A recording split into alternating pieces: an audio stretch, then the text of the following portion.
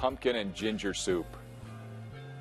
It's time now to meet our fox best friend. And who did you bring? I brought Maria. She is a six month old uh, spayed female. Um, she's very friendly. She came into the shelter with a few of her siblings, so they're all looking for homes. Are they all this color? Um, most of them are just white with a little bit of orange. She has a little more interesting pattern. She does, Yeah, and that little cool. tiny spot of color on her nose. Yeah, So cute. exactly. And she's got the colorful little tail here too. What, what color are her eyes?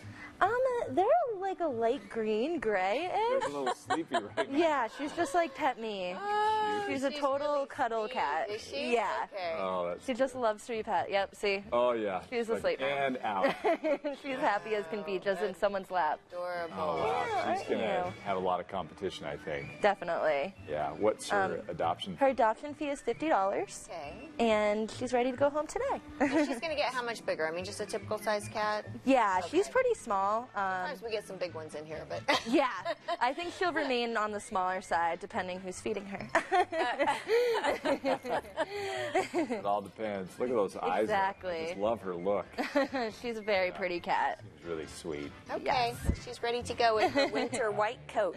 Thanks, Lindsay. Thank you. Here's the number right here on the screen. It's 801 261 2919. And now let's send it over to Danica Lawrence. She's got to look at what's ahead on Live at Noon. All right. Thanks, Carrie and Dan. Well, those of you who have young children, you